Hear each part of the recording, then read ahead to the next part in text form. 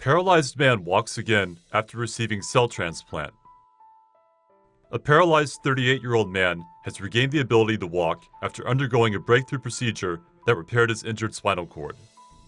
The pioneering spinal cord repair procedure was performed in Poland in collaboration with researchers in London on a patient paralyzed from the waist down following a knife attack in 2010.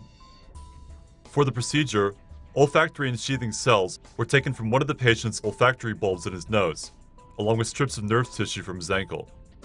The cells, known as OECs, were cultured and injected around the damaged site on the spinal cord. The nerve tissue was grafted across the gap on the spinal cord. The researchers believe that the injected cells stimulated the inert spinal cord cells to regenerate, using the grafted nerve strips as a bridge to fill the gap in the spinal cord. The patient can now walk with the frame. With sufficient funding, three more paralyzed patients are expected to be treated in Poland within the next three to five years.